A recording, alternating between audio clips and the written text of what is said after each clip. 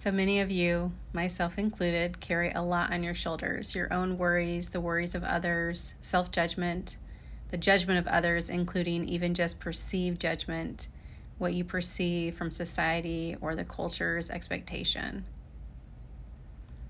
It can lead to this flurry of thoughts and emotions swirling around in your mind and even in your body, presenting as physical symptoms.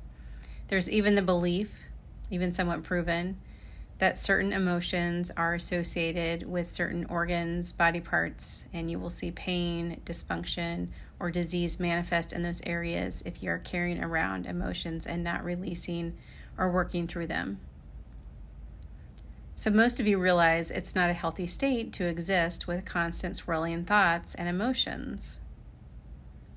But they can feel uncontrollable, as though it's some roller coaster you can't get off of the ride in full motion at all times.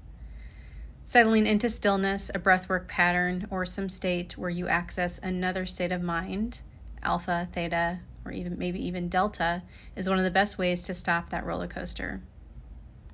It facilitates release, even if it just releases a tiny bit of pressure so you don't blow.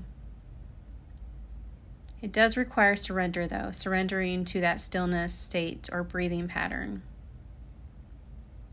The thoughts won't stop, or you won't experience some release if you only continue to focus completely on the thoughts while doing the practice.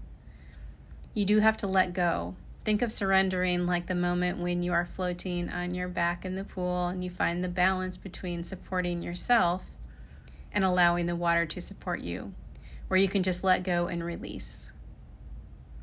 It's like that.